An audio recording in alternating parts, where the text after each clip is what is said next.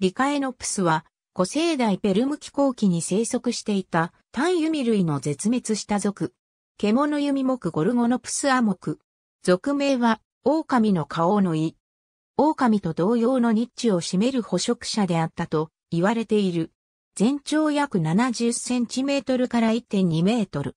ゴルゴノプス類としては標準的な大きさである。走行性の哺乳類の捕食者に似通った骨格を持つ。頭蓋は狭いが高さがあり、墳部は長い。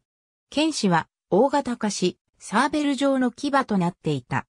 彼らはこれで獲物を捕殺し、その発達した前歯とサーベル状の剣士で肉を引き裂いていたと考えられる。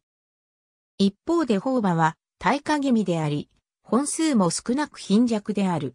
その獲物はシステケファルスなどのカルーボン地から発見されている小型、単弓類だと考えられる。また小型爬虫類のヨンギナなども獲物だと考えられる。この生物の獅子は、それ以前の捕食者などに比べて、より走行に適した形状となっていた。特に後ろ足は、現在の哺乳類に近い直立した構造だった。